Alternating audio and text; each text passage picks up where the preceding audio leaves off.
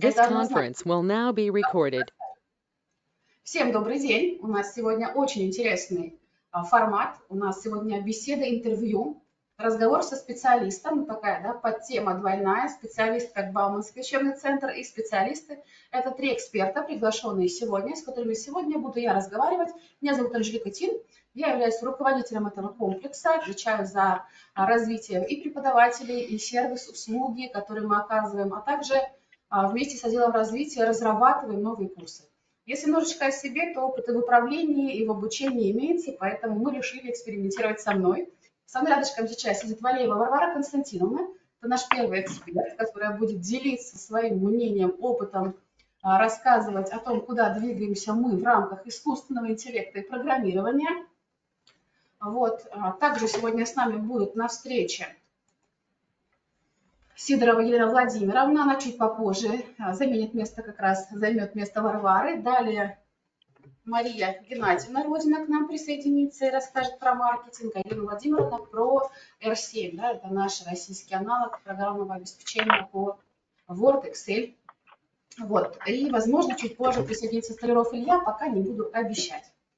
Так, ну что, давайте еще раз, всем ли слышно, всем ли видно, все ли хорошо, готовы ли к вопросам интересным.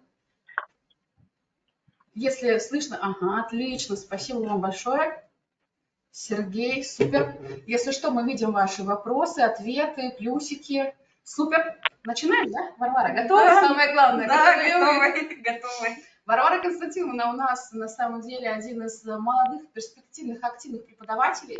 Она не так давно работает э, с нами, с комплексом, да, но на самом деле она уже, ну, чуть позже, думаю, раскрою эти секреты, что вы очень много новых курсов написали, вот, уже ведете активно, э, скажем так, серьезные, да, курсы от начинающих до более серьезных, уверена, вы поделитесь с нами. Вот, но давайте немножечко начнем про, про нашу тему, да, какие, какие решения на сегодняшний день отечественные в искусственном интеллекте наиболее перспективные, как вы сами считаете, и почему? Ну, наверное, одним из самых перспективных направлений сейчас является искусственное зрение. Я думаю, что все приходили в Сбербанк или в магазин и видели оплату улыбкой. Вот, а мы знаем, насколько у нас, ну, мы живем все в центре, да, особенно присутствующие здесь, которые с нами находятся в аудитории. А Вы прекрасно знаете, как вот идешь по городу, тут камера, камера, везде все вот у нас понапихано.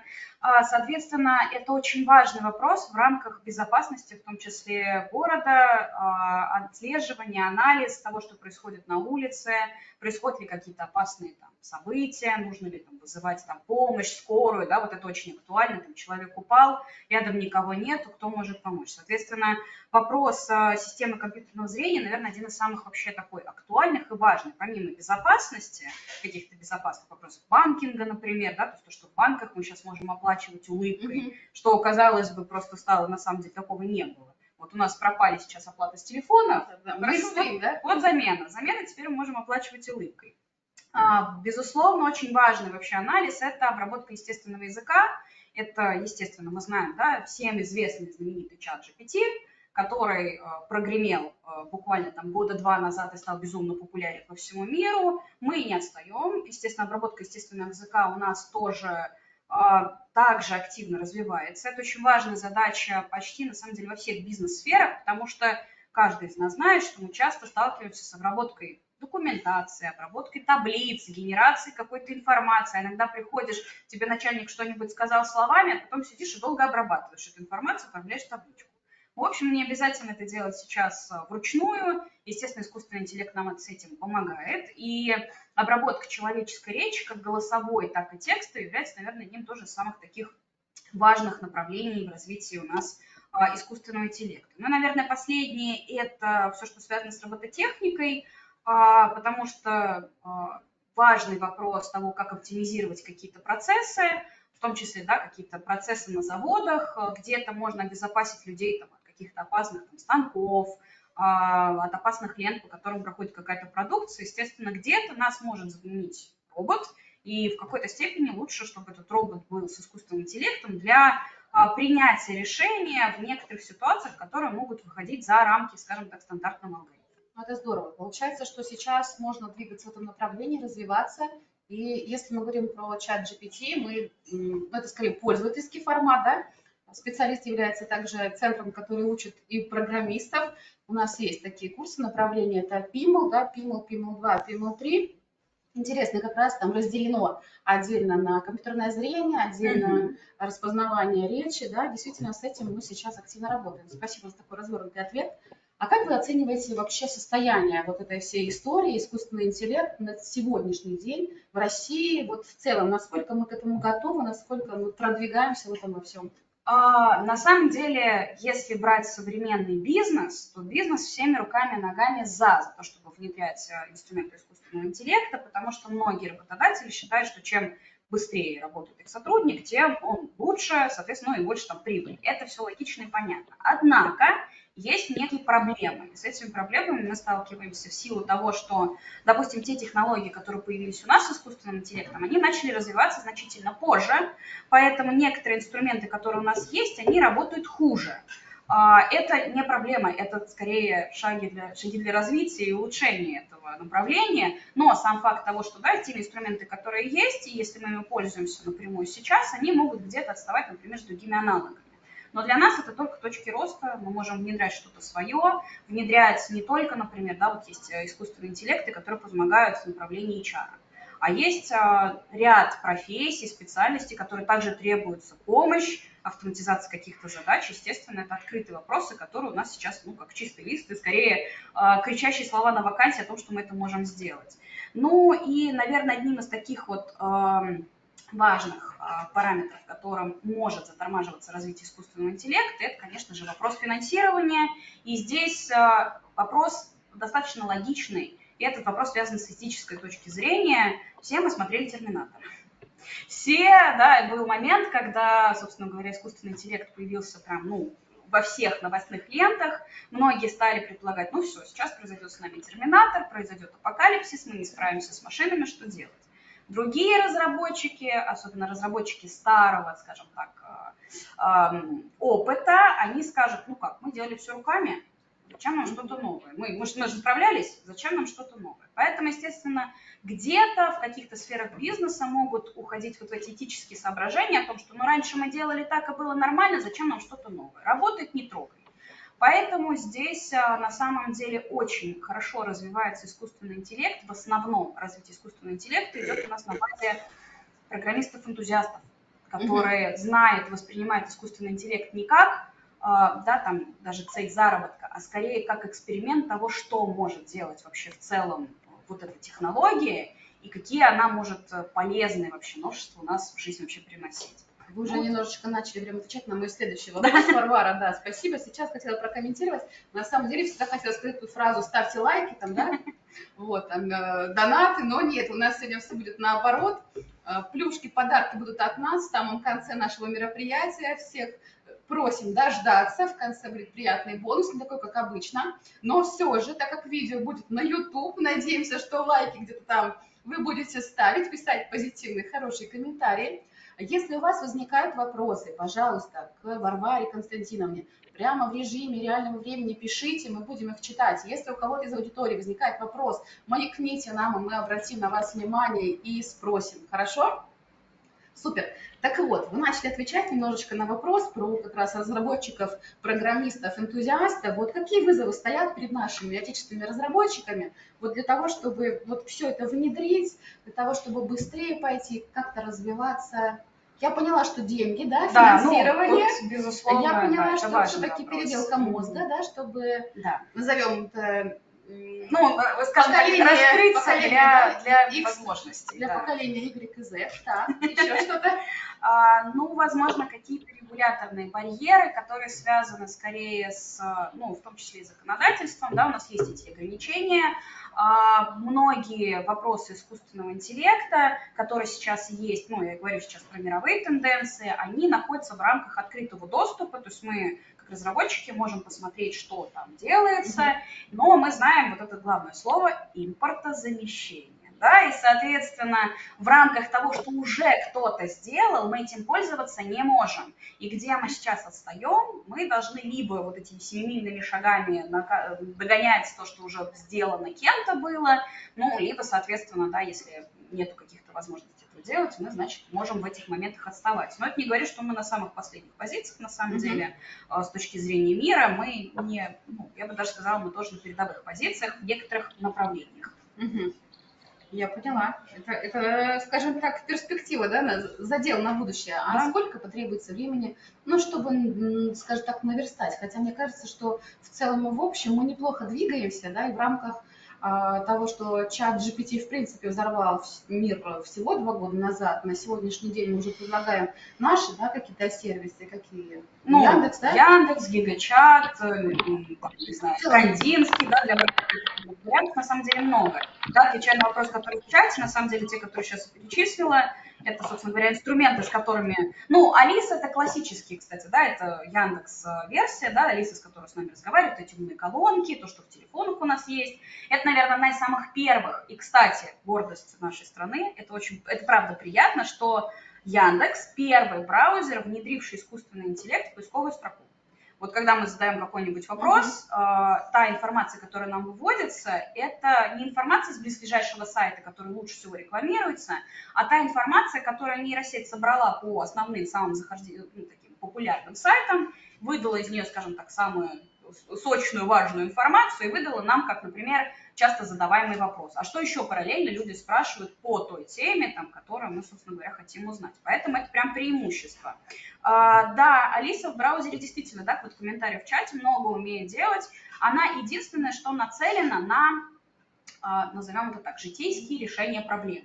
И сейчас Алису, как и многие, вот, кстати, да, там, например, те, кто пользуется iOS, да, айфонами я имею в виду, а, может быть, слышали на новом а, последней презентации, анонсировали, что наконец-то э, в айфоны будут внедрять искусственный интеллект. Ну, на самом деле, не то чтобы они кого-то уделили, во мно- удивили, во многих инструментах уже и техники, и этот искусственный интеллект есть, ну, а нам сказали, что ничего себе, это ноу-хау. На самом деле нет.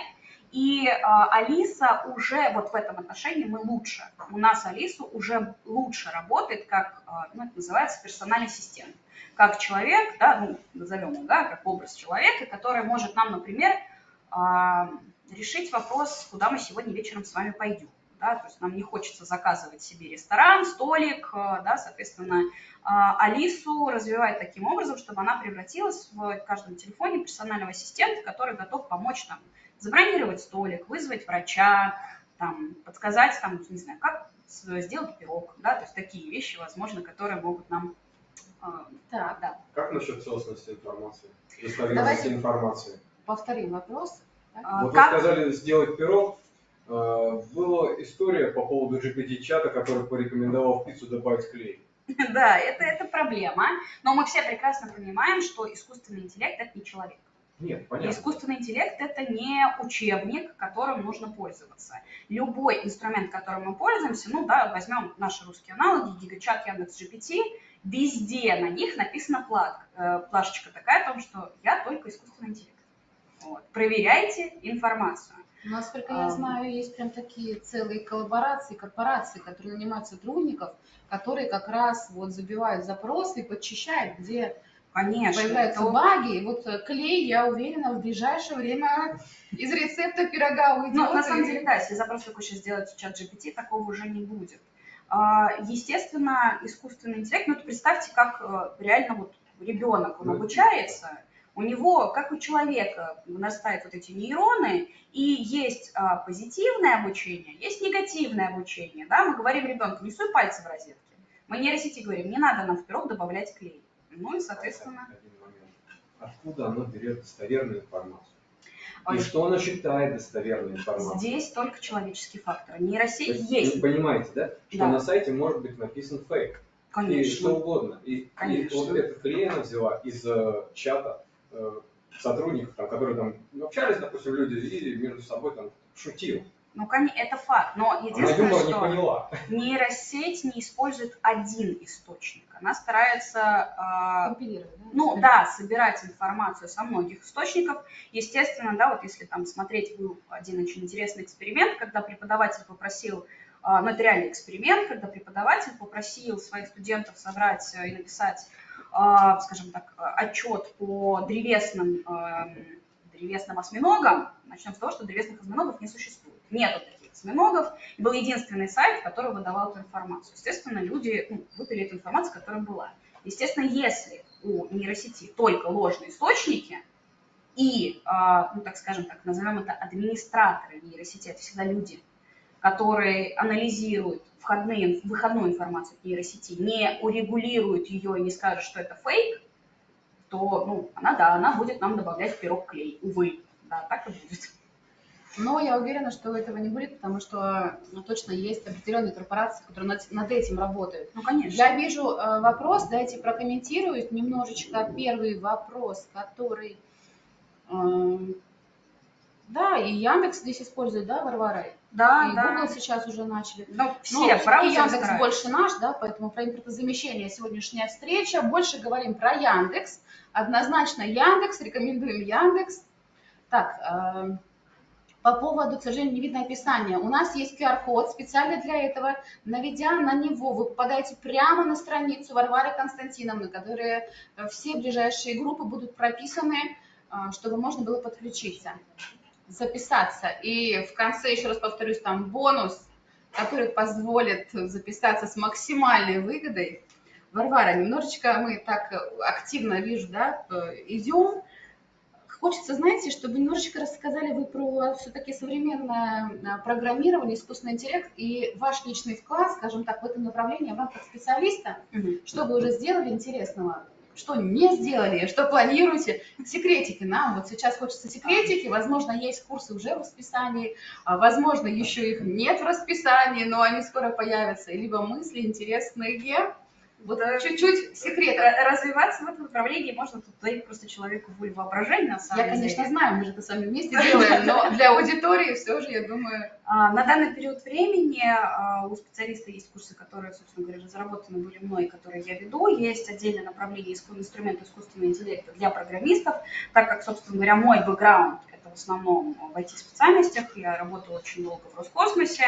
Вот. И, собственно говоря, как программисту, как IT-специалисту, мне бы хотелось бы, ну, мне и нравится эта идея того, что есть какие-то инструменты, которые могут упростить мне жизнь. Да, человек существо ленивое, ему хочется как-то себе свою жизнь упростить.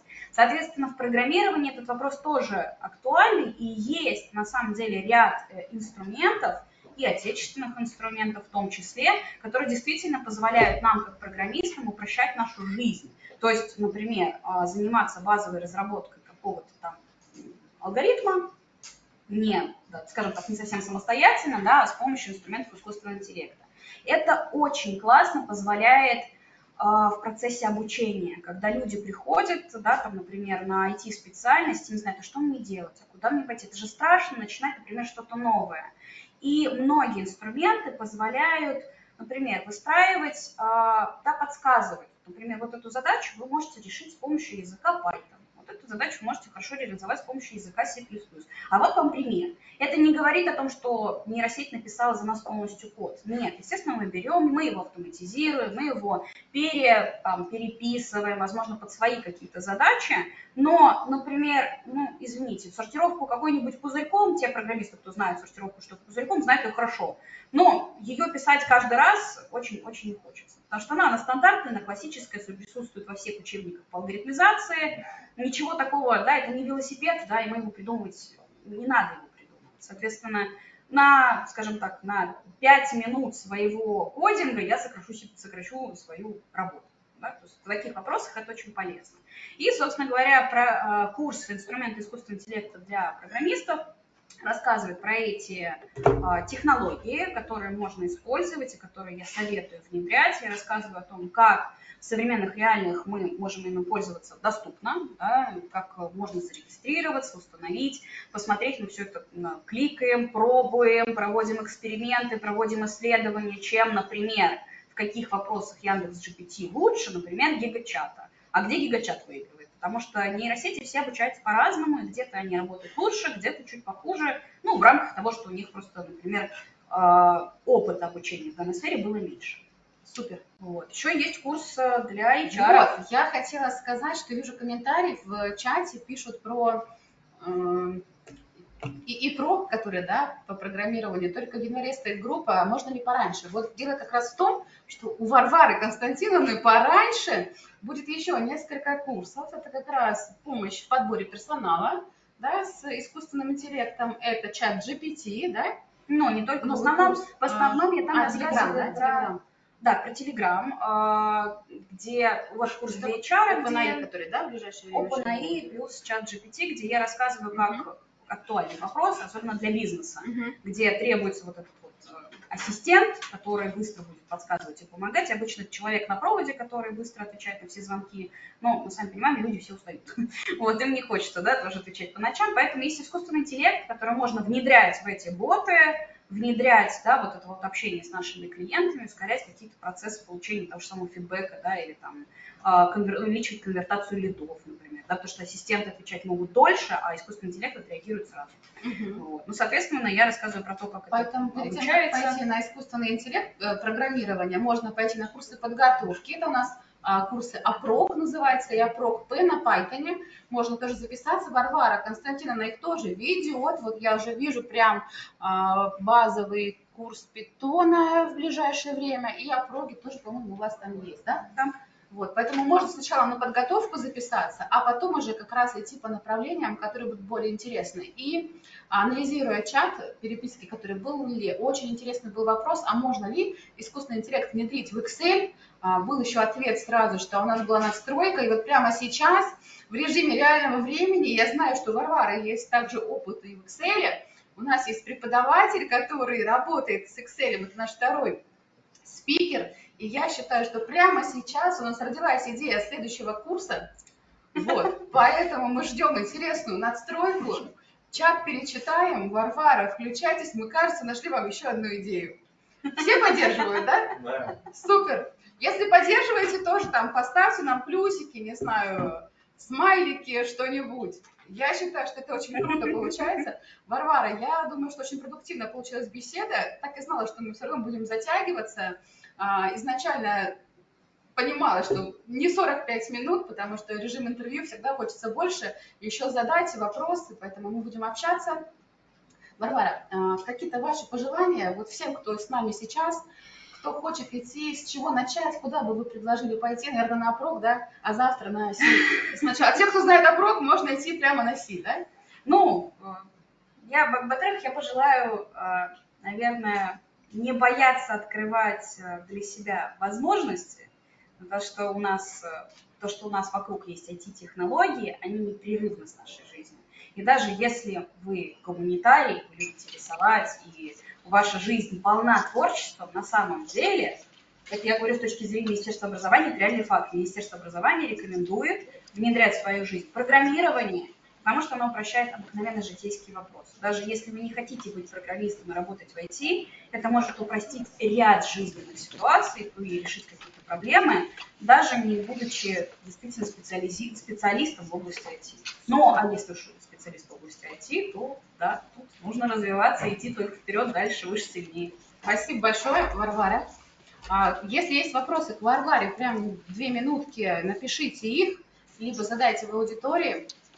В любом случае, всегда вопросы можно будет задать. Наши контакты указаны, наша почта, наш номер телефона. Наши девочки-администраторы всегда проконсультируют, подскажут, расскажут. И, конечно, ждем вас на курсах Варвары. А, Если есть вопросы, пишите. Если нет вопросов, Варвару можем отпустить, да, но мы еще с вами не прощаемся, у нас еще с вами вручение дипломов. А, Все, я Варвара, Варвара, спасибо. Вам спасибо. Спасибо большое. Вот. Отлично. Спасибо всем большое. Ну что ж, от Варвары мы переходим дальше. А, Интересные вот у нас сейчас тоже темы, беседы. Елена Владимировна, приглашаем вас. Елена Владимировна у нас боец сегодня на самом деле. Сейчас вы видите ее небольшой секрет. Да-да, Вот. болезнь. Э, Это не болезнь, это просто травма, которая не помешала совершенно вам участвовать в нашем, три нашем- да, три дня, э, быть в нашем мероприятии. Вот. Как поменять имя, пишет М. Добрый вечер. А, Поменять имя нужно в настроечке зайти, и там даст вам э, карандашик переподписаться. Вот, но если что, напишите М, как вас зовут в чате, мы постараемся запомнить. Так, Так. давайте знакомиться. Елена Владимировна, да, один из, наверное, метров вообще специалиста, которая настолько хорошо разбирается в Excel, Word, PowerPoint и все, что с ними связано. Открою секрет. У нас очень много есть э, слушателей, которые говорят, мы не пойдем никому, пока не видим расписание. Да, Бывает Елена да. Владимировна, это факт. Э, Соответственно, мы с этой стороны двигаемся в направлении всегда навстречу слушателям, стараемся территориально обеспечить близость и все остальное. Поэтому очень рада, что вы сегодня с нами. Спасибо. Поговорим с вами сегодня про импортозамещение, такой офисный, да, образовательный формат у нас Мгм. получится, потому что R7 – это то, зачем мы сейчас будем идти, да? Согласны? Да. наверное? Да. Хорошо, давайте тогда немножечко поговорим про R7. А, Расскажите, что это такое, потому что фраза, возможно, не для всех знакомая. Фраза, у вас вопрос какой-то? Да, почему именно семьи замещение не на душ продукт? А вот сейчас мы как раз Мы раскроем все секреты, да, почему R7 общепринятое слово, а как на самом деле называется и И почему, Почему не мой офис? и почему не мой офис, да? Расскажем. Вот. Но не факт, что шилом намылом. Ну, в общем, а, ну, во-первых, что такое R7? R7 – это а, разработка наших новгородцев. АО R7, у них компания называется, и они предоставили а, достаточно много программ в своем пакете. Их сейчас 15, и они их увеличивают. А, Вот. И основной пакет – это пакет офиса. Офисный пакет R7, а, соответственно, а, представляет из себя аналоги Word, майкрософтовского, это а, R7 документы. А, Это аналог Excel, который называется R7 таблицы, и аналог PowerPoint, это, как сказать, э, R7 презентации. Вот. а, Кроме того, что есть у нас пакет R7, да, а, Соответственно, конечно, разработчики наши российские, они нам предлагают еще пакет «Мой офис». А, Есть Альтер офис, есть Libre офис, который в открытом, так сказать, доступе с открытым кодом. А, Не факт, что это полностью российская разработка, но в Linux мы его используем как предустановку. Вот. А, Почему R7? Во-первых, во-первых, вот сейчас сами подумайте и скажите, пожалуйста, вы же все в офисе наверняка в Microsoft работали? Конечно, да? А вот теперь скажите, если вам предложат две системы, одна система, которая очень визуально похожа на Microsoft, ленточный интерфейс, примерно такие же вкладочки, такие же примерно инструменты. И, например, мой офис, который, э, может быть, кто-то в 2003 и более старом работали. Там э, файлы, э, всякие вставки и так далее, но они открывают не список инструментов, а как, бы, как это сказать-то, эм, панели инструментов, они как бы ставятся. Ну, в общем, получается не вкладка, которую открываешь, и там просто строчка с инструментами, да, а просто несколько панелей один под другой, и получается там очень большая строка, широкая, и в этих инструментах вы просто путаетесь, пока найдете. Ну, конечно, если не, при- не привыкнете. Так вот, ам, ам, когда ты видишь программу примерно такую же а, по интерфейсу, с которой ты уже лет 20 работал, тебе все-таки удобнее и комфортнее будет перейти на эту систему. Да? Вот. А по поводу, как бы, что у нас в стране. Да? А, На конце 20, в конце 2023 года как бы, провели статистические исследования и а, сделали вывод. Программисты, ну, вернее, компания, которая разрабатывает мой офис в 2023 году, а, ушла в минус в продажах пакета офиса. А, R7 офис увеличили продажи на 300%. Ну, то есть, а, когда компания имеет возможность выбора, она, естественно, что выбирает? Во-первых, интерфейс. Во-вторых, когда а, компа- вернее, пользователи а, быстрее в эту систему войдут, Мгм. то есть не будут тратить ни деньги, ни время на дополнительное обучение, потому что это знакомо уже. Конечно, там есть плюсы, есть минусы, есть свои недоработки еще пока, но вторая еще причина, что R7 лучше, чем офис. Ам, Компания R7, а, у них 150 тысяч разработчиков на текущий момент. Мгм. Вот. И эта компания почти два раза в месяц выпускает обновления. То есть они дорабатывают, причем постоянно дорабатывают программы. И если, например, две недели, три не- недели назад мы в сводных таблицах в Excel не умели, вернее, не, не могли создать вычисляемые поля, последнее обновление они уже это сделали.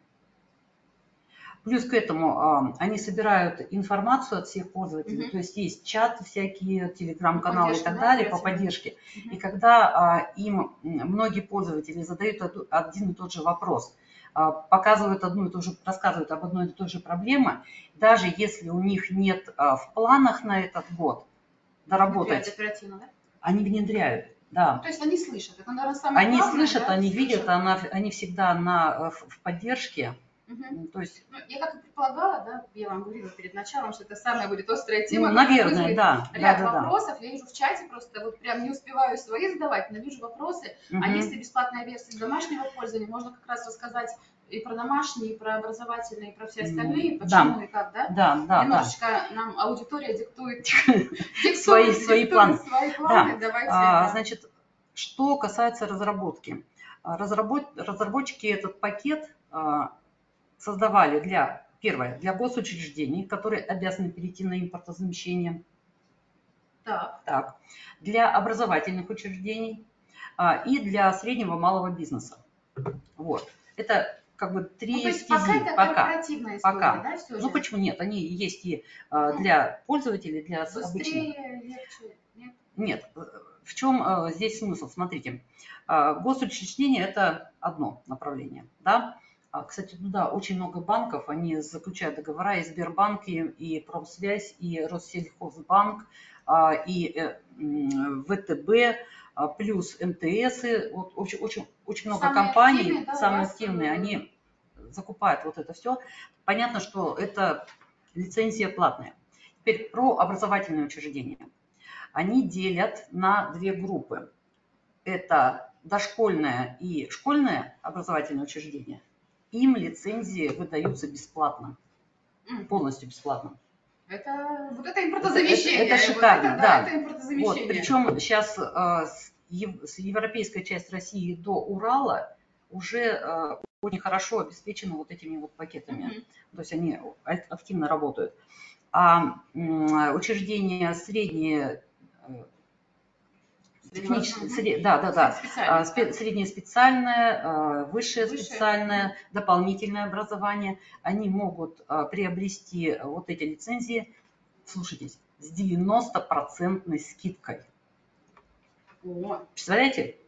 Одним бесплатно, а вторым 10% от стоимости. Ну, потому что надо переходить, да, переходить. Конечно, конечно. Поэтому очень активно э, самое R7 Внедряется, бы да, внедряется, внедряется да. максимально. Вот вопрос э, Power Query чем заменить? А, Power Query пока ничем не заменить, вот, но эм, как бы они стараются, у них в планах есть, но, по-моему, только на то ли 25 то ли 26 год. Мгм. Про Power Query что-то похожее. У меня Да. такой же вопрос по поводу Power Pivot. И самое. Power Pivot то же самое. Пока нет, пока нужно искать просто российские аналоги. Мгм. Они есть, но еще пока не сильно это самое, То есть распространены. Ждем, и, и не так быстро, да? Не, Да, так я также спрашивала, вот, э, ну, достаточно часто спрашивала у них э, о том, что они э, хотят сделать с, со смарт-артами в нашем офисе. Ну, то есть, знаете, да, что такое?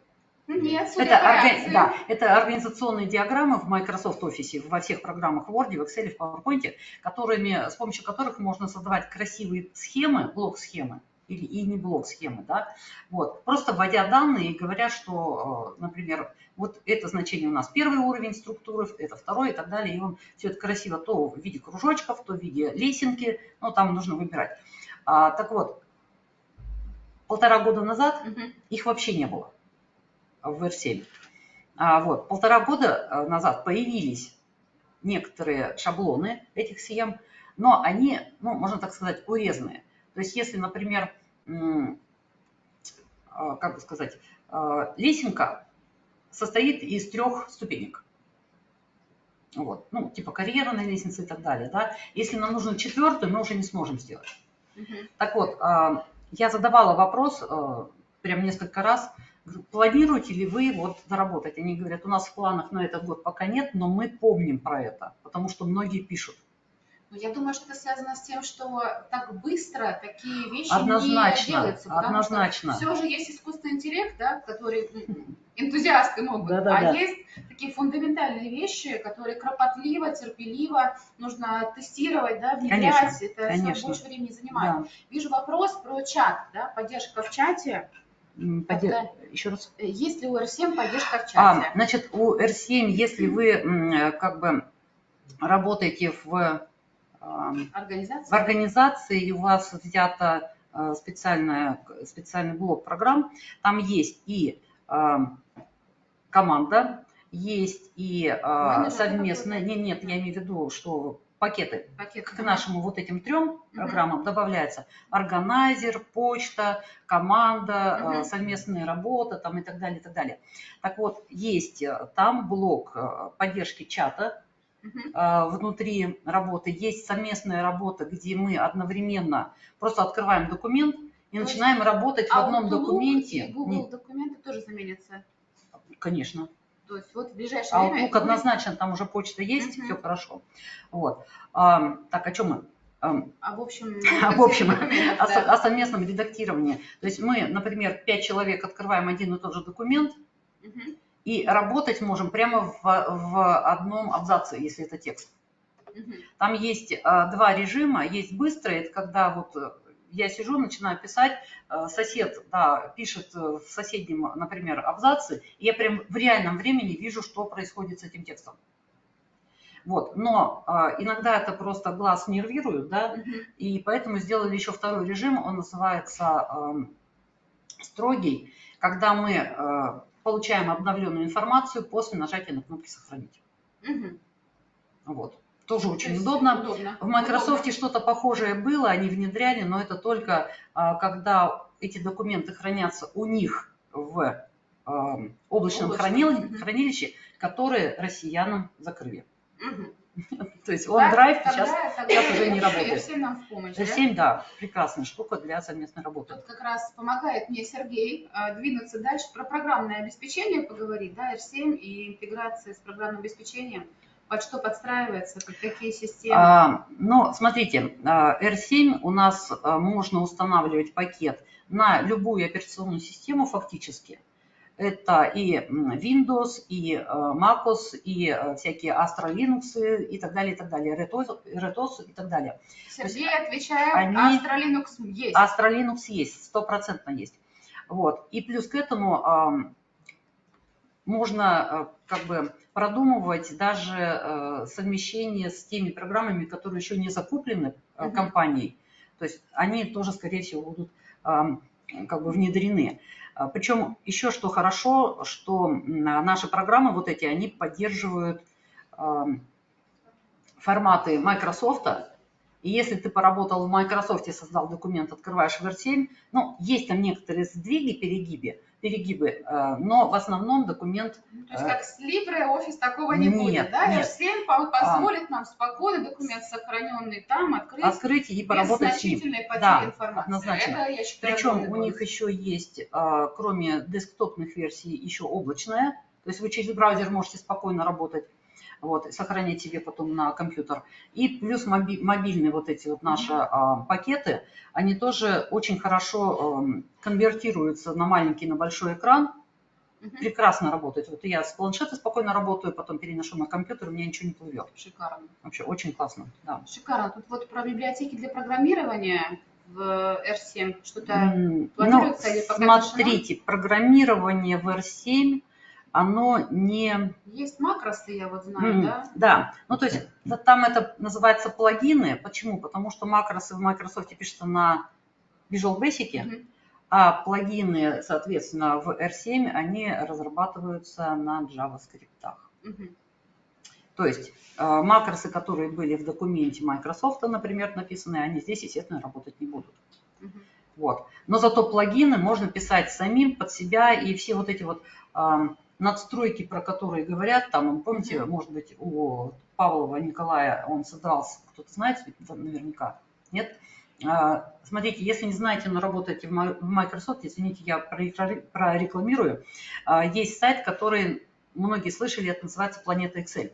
Вот, а, это преподаватель, который у нас тоже в специалисте работал одно время, вот, он создал свою надстроечку, и в этой надстройке очень много интересных э, вещей для Excel, Мгм. которых вот раньше только макросами делали, а он просто надстройку сделал, кнопочку вывел, например, там одна из проблем написать э, сумму словами, Прописи. да, прописью. О, кнопочку нажали, все, у вас готово. Так вот, ам, здесь мы, если знаем, например, тот же JavaScript, можете, можем писать под себя.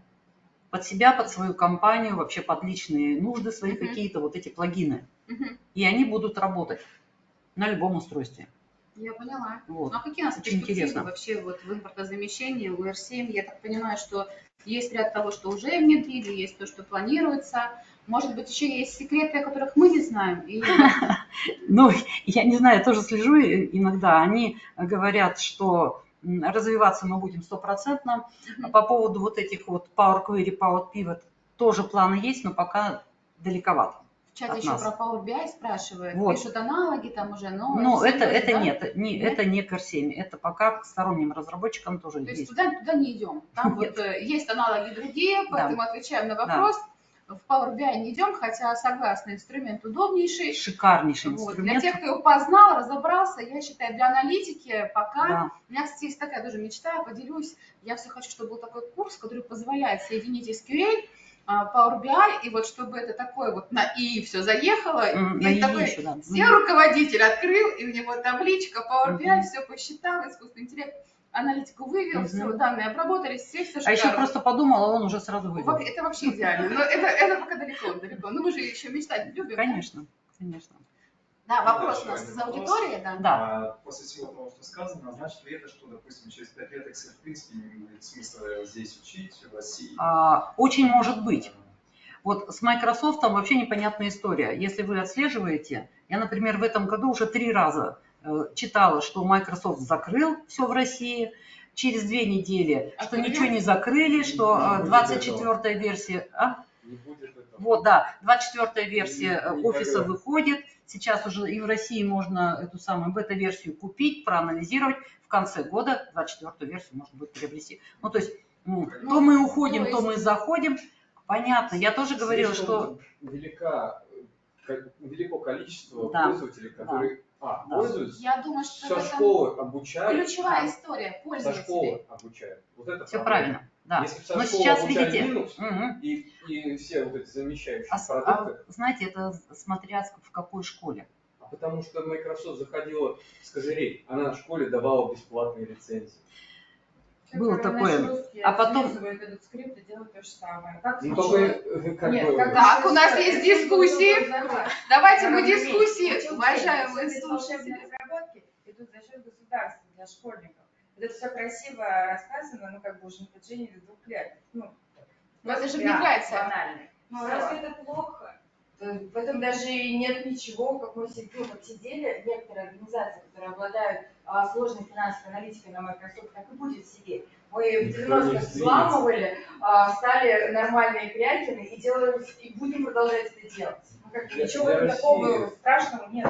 Лом- Мы русские. Ломанный продукт это не проблема. Конечно. Это вообще. понятно, но Это Видите, компания Видите, Давайте, давайте а, немножечко, да, прокомментируем. госучреждения, политика они не компании. имеют права работать на, э, это самое, на вот этом санкционном оборудовании. Корпорации пока еще да. Да. А Теперь, дальше э, в, в, э, образовательной сфере тоже переходят, видите, они прям вот раздают бесплатно вот эти лицензии. Все это нужно устанавливать и раб- работать, учиться. И если сейчас школы начнут работать на, ну, например, на том же R7 офисе, Мгм. естественно, им потом э, и придется дальше работать. Тут, наверное, стоит понимать, что нельзя э, это так быстро. Microsoft так долго А- входил, 30 лет. что выйти очень тяжело. Но мы точно 30 лет понимаем, они мы понимаем это. Но мы с вами 30 лет должны понимать, а что за два пять года лет- такие, опа, Ну, хоть не за коем два, за случае. 10. Ни в коем случае. В том-то и дело, что за два, за два с половиной года мы уже настолько продвинулись, Продвинулись, да. что для российского там, да, разработчика так быстро идти бежать, так быстро меняться на ходу, это что-то новенькое. И учитывая, что R7 все же учитывает уже ошибки, существовавшие в Microsoft, мы понимаем, что R7 есть будущее. Да, возможно, для нас, рядовых пользователей, это не будет так активно, так популярно и навсегда, потому что, ну, мы привыкли. Иногда вот как раз такая позиция м, мы не любим что-то менять, да, мы все говорим, мы за инновации, мы за революцию, мы за развитие, а потом раз, а мы консерваторы, и нам такие, ой-ой, лучше ничего не менять. Но из-за программы политической, государственной, ряд образовательных учреждений и там, э, ну, различных госучреждений, они вынуждены будут перейти. И вот тут уже это такой эффект сарафанного э, варианта, когда уже на работе потихонечку тебя начнут заставлять с этим работать, и ты поймешь, что на работе я провожу 9 часов своей жизни и вижу R7, Мгм. а прихожу домой на выходных табличку собрать, а у меня раз, и Microsoft Excel открывается. Я такая, оп, стоп, а ручка-то уже тянется к другой кнопочке, уже хочется по-другому. Это процесс э, эволюции, это не революция. Я хочу, чтобы... А еще понимала- OpenOffice есть. Ой, еще и Согласна. Open есть Просто, тоже просто здесь не про страшная. революцию. Не про революцию мы говорим, мы поговорим про эволюцию. Ну, и Если про видели, вы меня поймете. Мы говорим о том, что через пять лет, когда все успокоится, и нам не будет угрожать Microsoft, мы очень быстро закинем далеко на полку. То, Ну, с LibreOffice такого не случилось, я знаю, что с у нас было и что было лучше. Иначе. Супер, давайте мы про программирование и прогнозирование будущего поговорим в перерыве, он у нас точно будет. А. Елена Владимировна, давайте финальный вопрос хочу. Уважаемые слушатели, хочу финальный вопрос Елене Владимировне задать. Очень прошу тоже внимания все-таки, да. Хочется, чтобы вы рассказали, вот э, есть дискуссия, что не так быстро не пойдем, через пять лет вернемся. А вот сегодня, что чаще всего заказывают? Куда вас, вот особенно наши спецгруппы, заказчики, специалисты говорят, Елена Владимировна, нам нужно вот этот вот пакет в такую-то организацию в срочном порядке, вот самое главное. Там, Из R7? Да. А, из R7. Ну, в принципе, и м, таблицы, и презентации, и а, документы, анализ Word, да, аналог Word.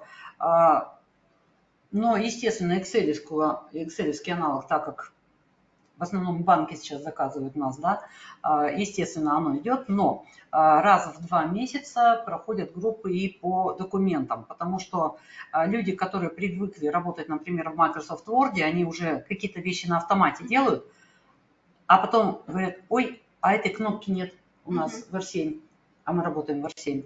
А почему там вот что-то поплыло? И начинаем разбираться. Ну, я маленький примерчик приведу. Да, конечно.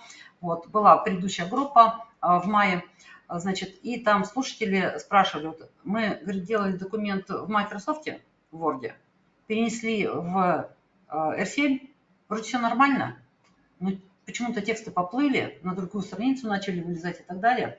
Мы начали разбираться, а оказывается, там все просто. А В Microsoft вертикальные настройки – это высота шрифта, настройки Мгм. между строчных интервалов, мгм. они в пунктах, а в R7 офисе, если не переделать, в сантиметрах. Мгм. А перевод пункт в сантиметр – это что у нас? Это ам, один миллиметр, это примерно, примерно 3 пункта. Мгм. Соответственно, в сантиметре 30 пунктов. И вот переход, а если точно там 0,352 а, тысячные а, сантиметра в одном пункте, вот, вот эта вот корявость вылезает потом и в высоту шрифта, Мгм, мгм. и, соответственно, в настройку между Ну, строчными. Памятку нужно держать, да? При Да, нужно памятку, либо если- просто перестроить, сказать, сделай здесь тоже в пунктах и не мучайся, Мгм. либо вот понимать, А что... 304 и померить с линеечкой. Ну, ты же не будешь э, каждый раз с линейкой сидеть. Не, ну понятно, Ну, вот да. да. сантиметр привычный. Ну, понятно. А. А с самими шрифтами Это какие есть. проблемы еще есть? А, семь офиса есть, но мало туда кто залезает. Кто-то говорит, Да, кто-то микрофон? у вас вопрос? Я, я про лицензионные шрифты пытался спросить. Лицензионные шрифты. А, а, про какие лицензионные шрифты? New Roman. Это лицензионный шрифт Microsoft. Ага. Ну, э, значит, смотрите, про шрифты у нас история какая. А, Я думаю, что вы, раз спрашиваете в курсе, что у нас есть ГОСТ. Последний ГОСТ, который связан с настройками, вернее, с форматированием организационно-распределительной документации, то есть те, которые вот на уровне ком- в компании и на уровне между Мгм. компаниями, да, там в самом начале стояли шрифты, которые мы постоянно использовали, Times New Roman, Verdana и Arial. Мгм. А В 2018 году, когда вот все это активно закрутилось, государство, вернее, понятно, да, а, значит, э, выпустило Новый а, ГОСТ, не новый ГОСТ, а изменения к к этому ГОСТу. И сейчас там написано в пункте, если не ошибаюсь, 6.6 или 6.3, 6.3, по-моему, там написано, использовать можно свободно распространяемые шрифты, ну и где-то там в комментариях когда-то было сказано, похожие на, на Times New Roman, э, Verdana и Arial. Ну, то есть, как бы на государственном уровне нас могут зацепить по санкциям, да. Внутри организации, в общем-то, это не страшно, когда вы работаете для себя, для организации внутри.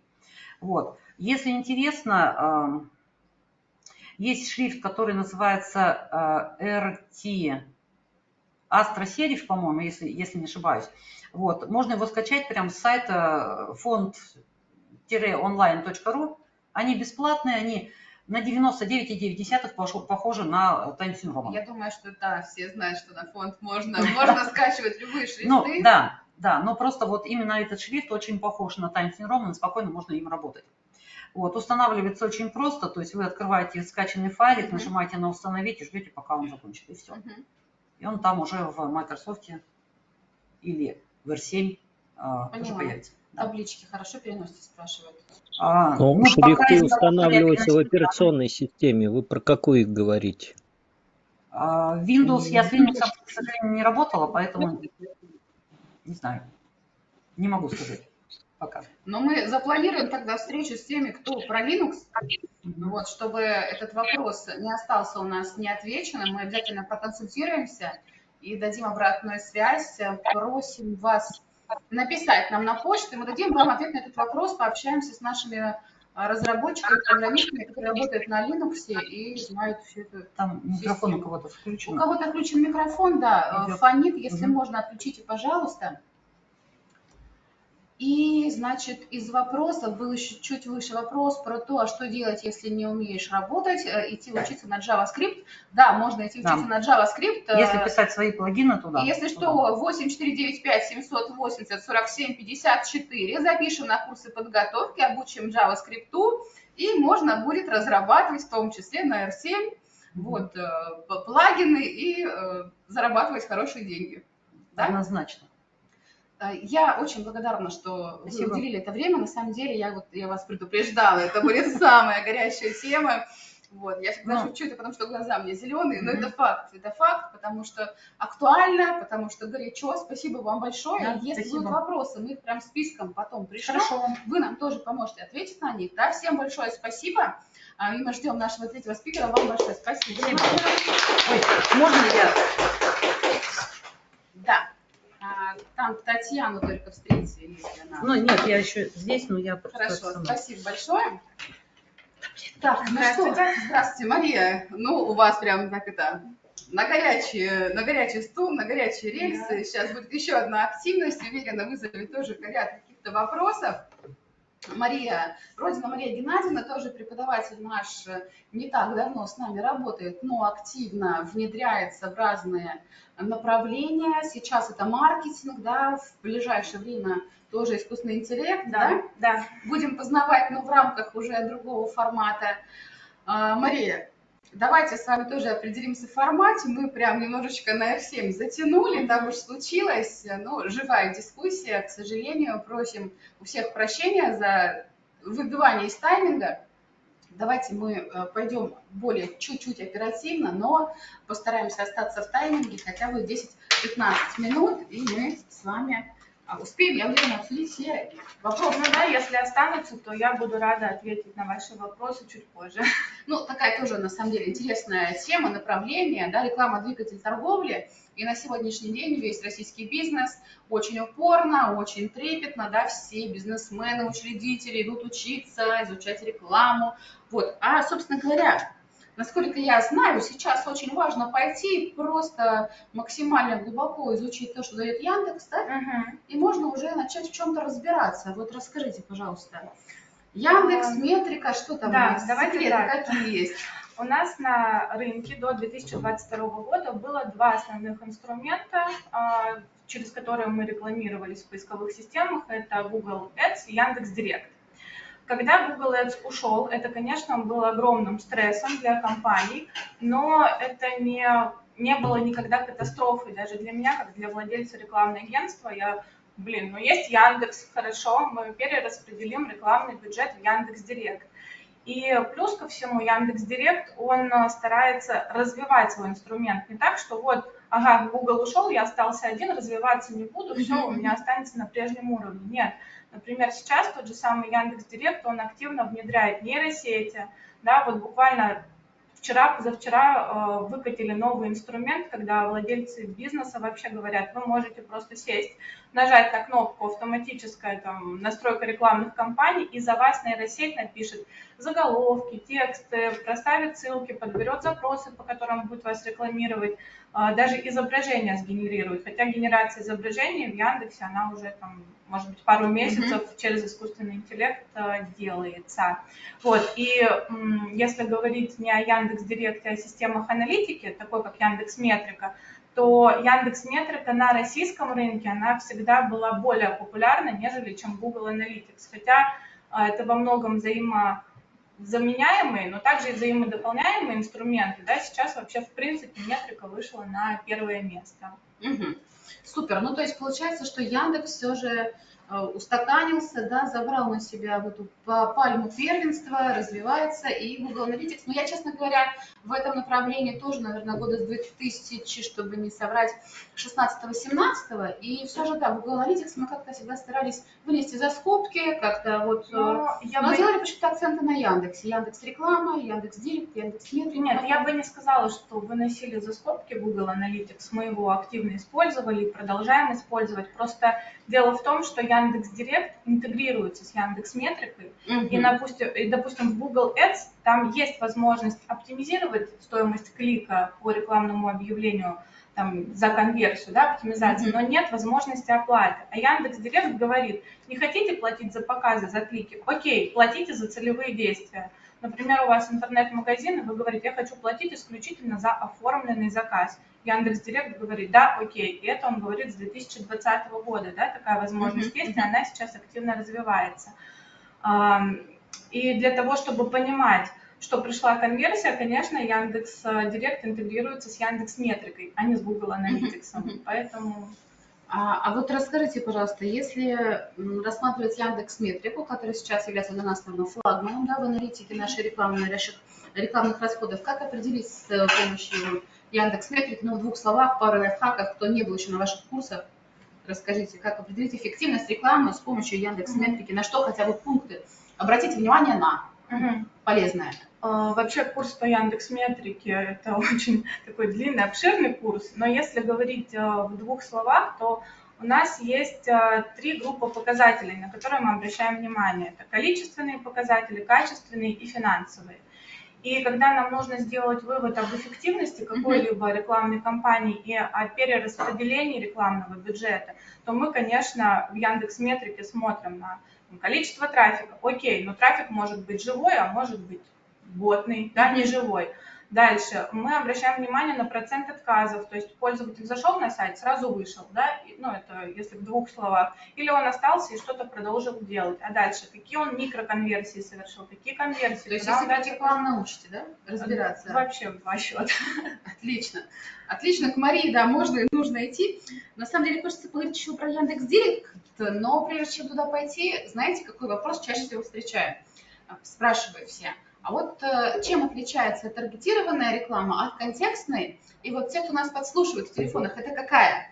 Таргетированная реклама и контекстная реклама. Это платная реклама, когда мы платим деньги. Но в таргетированной рекламе мы платим деньги социальным сетям, да, например, ВКонтакте или другие запрещенные соцсети. А контекстная реклама – это когда мы рекламируемся в поисковых системах. В Яндексе, Мгм. в Гугле, да, в Mail.ru, в Рамблеру. То есть подслушивает нас контекстная реклама. все. Все Вся реклама нас подслушивает, да. Кто-то даже говорит, что не только подслушивает, но еще и мысли читает, потому что я еще никому ничего не сказала, только подумала, уже вижу, как меня преследует эта реклама. Я поняла. А как настроить в Яндекс.Директе вот именно целевую свою? Какие критерии вот этой рекламы самые сейчас важные, модные? Мгм. На самом деле в Ян- э, через Яндекс Директ мы можем настроить не только текстовую рекламу на поиске в Яндексе, мы можем также настроить и графическую рекламу, текстово-графическую, видеорекламу и даже аудиорекламу в Яндекс Радио мы тоже можем настроить через Яндекс Директ. И понятно, что у каждого формата существуют свои настройки. Мы можем настроить рекламу по ключевым словам. Вы э, это искали в поисковой системе. Либо мы сейчас с вами говорим об искусственном интеллекте, да, будет бегать реклама Яндекс GPT за нами, да, ну, то есть или R7 или еще что-то, да. А дальше это реклама, конечно, мы можем гео ограничивать, даже вплоть до радиуса. Если у вас, например, э, салон красоты, и вам не надо рекламироваться по всей Москве и Московской области, у вас не сеть, вы можете взять радиус там, 5 километров, 3 километра вокруг вашего салона и настроить рекламу. Мне кажется, это вообще очень Это круто. полезно, круто. Да. Да. Раньше такого не было. Ну, нет, давно уже есть, просто, наверное, не, не Мы- освещается. я знаю, что да, выбирали там города, да, там целевая аудитория, возраст, где показываться, но все-таки вот именно километраж, наверное, это, наверное, связано с тем, что мы работаем более крупно, укрупненно, там, на всю Россию, там, СНГ, и не было такого пункта, Не не, было было необходимости. А вот для малого бизнеса получается очень крутая Ну, штука, что да, можно настраивать какие-то километраж. цветочные магазины, условно, кафе, э, медицинские клиники, фитнес-центры, ну вообще бизнес, который привязан к локации. Мы можем настраивать рекламу по платежеспособности. Например, если у вас какой-то сегмент э, премиум, вы можете выбрать и показывать э, вашу рекламу э, пользователям с доходами выше среднего. там.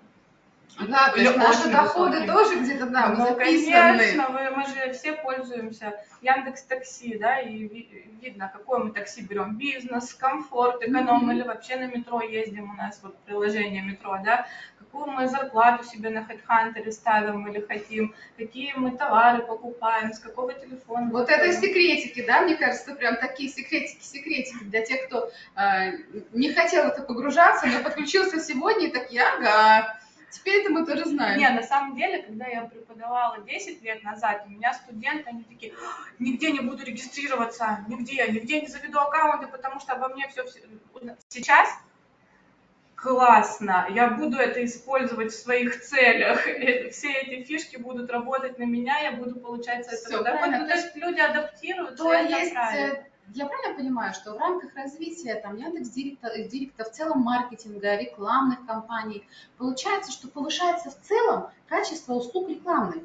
Ну, то есть, если раньше реклама, там, не знаю, Михаил Галустян бегал и э, рекламировал все подряд, то сегодня, да, Да. аудитория Михаила Галустяна точно получит Михаила Галустяна, а аудитория, там, не знаю, Влада А4 получит, э, да, Всё верно, да. А4. То есть даже у многих был раньше, может быть и сейчас есть такой барьер, что видеореклама это супер дорого.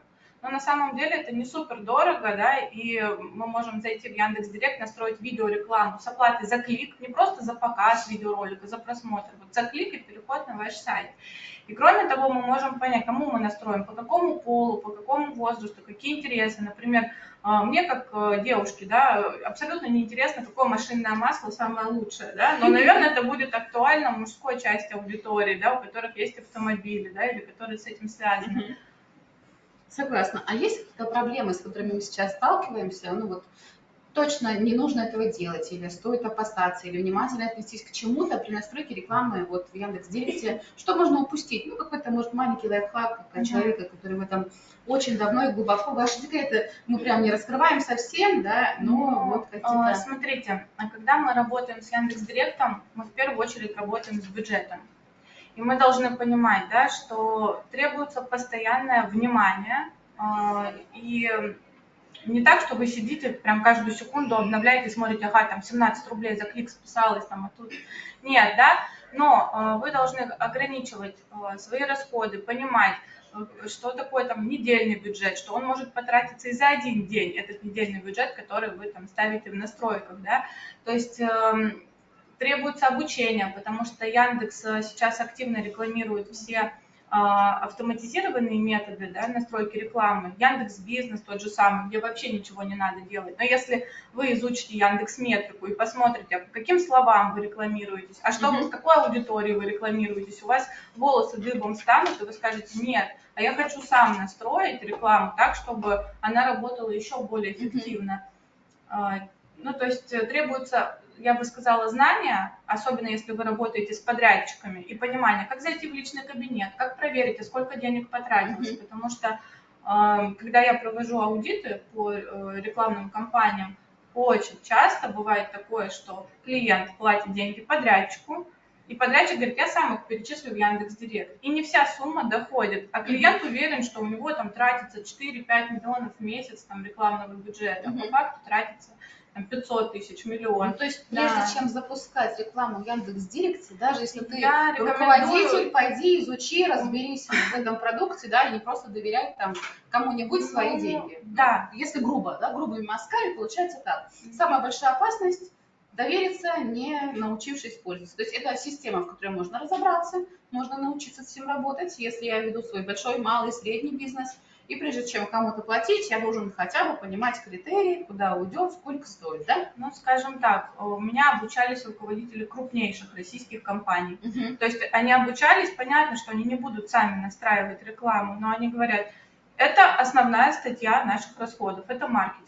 Я хочу понимать, как вот а, Джон Ванамейкер, американский бизнесмен, в прошлом говорил, я знаю, что часть денег на рекламу выброшена на ветер, но я не знаю, какая именно половина. Mm-hmm. Вот сейчас это все очень легко можно понять с помощью там, инструмента Яндекс Метрики. Руководитель, он хочет понять, тратятся его деньги эффективно или нет. Mm-hmm. И я уважаю эту позицию. То есть э, не нужно руководителю разбираться там, конечно же, во всем, но он должен знать, какие точки контроля вообще существуют, да, и mm-hmm. прелесть э, сделаю рекламная пауза да, наших курсов в специалисте, то, что они не только для тех, кто хотят научиться руками настраивать рекламу, идти и работать вот специалистом по маркетингу. Это и для руководителей тоже. Научиться понимать, читать. Да, анализировать объем этой информации. Супер.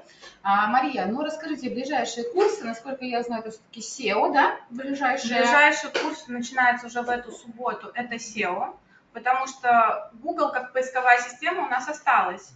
И нам важно показывать э, наш сайт в Google тоже. Но каким образом? Осталась только органическая выдача. И нужно понимать, на какие факторы обращает внимание Google для того, чтобы наш сайт поднимать в топ-10 да, поисковой выдачи, чтобы мы получали на сайт трафик. Потому что если верить исследованиям Яндекс.Радару, то 35% пользователей более молодые, более платежеспособные используют Google. Да, и если мы хотим все-таки, то мы идем в SEO, понимаем инструменты, каким образом в Google, тем более там CTR, кликабельность объявлений, в Google выше, поскольку нет рекламных блоков, которые в Яндексе занимают всю видимую область экрана. Да, поэтому SEO ну, тоже очень важно. получается важный, кстати, момент, да, к сожалению, пока это стоит отметить, Яндекс занимает рекламные позиции, первые строки поисковиков, и это очень серьезно сбивает да, от выбора основного. Вот этот секрет, я помню, я была когда у вас на курсе, mm-hmm вы говорили, вот, прочитайте внизу и поймете, рекламные или не рекламные объявления. Давайте им э, вот расскажем маленький лайфхак. Как посмотреть реклама, не реклама? Да, да, да. Вот. Мне кажется, это не секрет, это а, такое. Ну, давайте, да, демонстрацию экрана. Нет, можно сказать, я думаю, да, или а, ну, у нас есть 38-й э, федеральный закон о рекламе, который обязывает все рекламные объявления помечать пометкой «реклама». И если раньше объявления в Яндексе, в Гугле были выделены ярко-желтым, розовым цветом, да, и прям пестрили, кликни сюда, то потом а, поисковые системы поняли, что чем они вот сильнее выделяют объявления, тем меньше кликов они получают, потому что пользователь больше доверяет органической выдаче. И тогда э, сейчас вот э, поисковые системы рекламу стали помечать светло-серым, светло-серой пометкой реклама и вы даже не всегда можете понять, что это реклама. Многие говорят, ага, я вверх пропускаю, тут все реклама, но Яндекс стал показывать рекламное объявление не только сверху и снизу, но также и в середине. органической выдачи. Вот. Это мы читаем, секрет. ищем серые буквы, если написано реклама, знаем, что Ну, нас хотят купить. Реклама это неплохо. Согласна, вы, вы точно должны, да, эту идею продвигать. Реклама это хорошо, согласна. Вопросы есть к Марии? Либо мы так все подробно, как-то детально да, разбираем, приглашаем всех на обучение к Марии в том числе. Ну и э, Мария, так как вы у нас как раз третий спикер в, рам- в рамках рекламы, с вами и будет рекламная пауза. Наш главный бонус, бонус сегодняшнего дня обычно всегда, все наши семинары а, заканчиваются, и мастер-классы, дополнительная скидка всего лишь 5%, всего лишь, а сегодня... Я, я удивилась, я смотрю, не А сегодня, да, вот такая у нас уникальная коллаборация. Просто Мария наш активный э, пользователь всех наших соцсетей, да, и тоже все свои курсы продвигает и знает наши правила. Но сегодня мы дарим скидку в честь двойного праздника, вот такой новый формат живого интервью и э, вручение дипломов, которое уже начнется прямо через э, 10 минут. Сколько действует эта скидка? До конца лета мы готовы вам дать такую сумасшедшую дополнительную скидку. При этом при всем э, скидка суммируется до 30%, даже э, на часть курсов можно получить скидку. Вот такая уникальная история. Взяла на себя, говорю, вот так вот я решила, сегодня будет такая большая скидка. Круто. Поэтому фотографируйте экраны, переходите по QR-коду сразу на страничку нашего комплекса. А, Работают наши сотрудники до 9, 9.30, в зависимости от нагрузки, но до 9 точно можно дозвониться, записывайтесь. По горячим следам каждому из спикеров открою секрет чуть-чуть попозже для тех, кто у нас на вручении дипломов. Сегодня будет еще один очень интересный спикер. Это Светлышева Ольга Юрьевна, ее очень многие знают, любят, и сегодня мы пригласили ее на наше мероприятие не только в рамках, скажем так, преподавателя, да, а еще и как спикера, который поделится секретами, секретами, а, как лучше свое резюме настроить, да, какие-то тоже секреты, фишки расскажет, поэтому если вы хотите тоже э, к Ольге Юрьевне узнать секреты, вы самый лучший, конечно, путь это купить дипломную программу с дополнительными всеми нашими скидками, вот, и потом прийти на вручение дипломов, Ольга Юрьевна все расскажет. Но есть также у нас курс э, ТТБ называется, да, это тоже, кстати, бесплатный курс, э, и он всего один день длится, можно тоже на него записываться. Поэтому вот рекомендуем, у нас сегодня активное такое мероприятие. Мы очень будем рады вашей обратной связи в чате, ваши комментарии, э, какую-то информацию, понравился ли вам такой формат от тех, кто в аудитории. Мы, в принципе, пару минуточек и а, завершаем. Мы пока еще на связи, выключим микрофон. Ждем от вас обратную связь. Пишите нам, звоните. Мария, вам огромное тоже Спасибо. спасибо. Вы у нас а, э, восходящая звезда. Я уверена, что в ближайшее время мы тоже еще очень много от вас и новых да. курсов да, услышим, и узнаем, и увидим. Да. Супер. Спасибо огромное. Спасибо.